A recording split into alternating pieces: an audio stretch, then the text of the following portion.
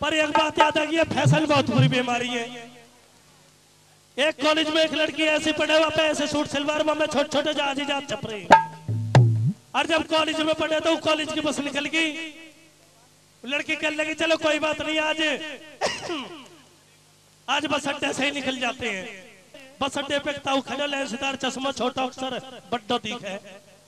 जब ताऊ कह रहा नुखा नुखा कमाल है जहाज़ जहाज़ और तो कुछ है ही ना। वो लड़की नाराज़ हो गई बट्टी थी, सोल मैंने बाबा शर्म नहीं आती आपको? कभी जाते नहीं देखे क्या? जब बाबा कह रहा हो, लुगा जात तो बहुत देखे, पर हवाई अड्डो आज ही देखे हमने तो।